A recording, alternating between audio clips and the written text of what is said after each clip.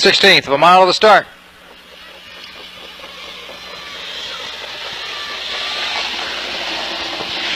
It off with Hoosier Rosette from between horses. Fox Valley Bengal along the inside. An investment fund going out for the lead. Snowdio Lynn on the rail is racing fourth. The length Big Bay Coop is now fifth. Summers Pride on the outside is racing sixth. The length and a half.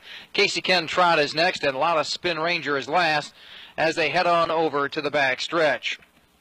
Fox Valley Bengal on top by a length. Hoosier Rosette is second ahead. Investment Fund moving up third now by two. Snowdio Lynn is racing fourth a length. Summers Pride is fifth. Big Bay Coop is sixth. Casey Can Trot is seventh.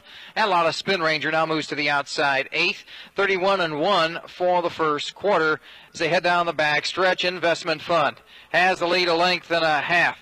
Fox Valley Bengal is second. Hoosier Rosette is racing third and moving to the outside. Snowdio Olin is now fourth a length and a half. Big Bay Coop parked fifth ahead. Summers Pride is six by two. Lot of Spin Ranger is seventh and Casey Can Trot. Past the half mile pull in 102 flat. Investment Fund by ahead. Hoosier Rosette alongside is second a length and a half. Fox Valley Bengal is third. Snowdio Olin is now fourth by two.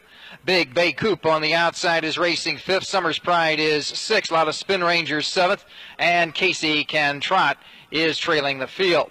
They come on to the top of the lane, and Hoosier Rosette has drawn off now by three and a half lengths. Investment Fund along the inside is racing second a length. Snowdio Lynn along the outside now moving up third as the horses head on down now through the stretch.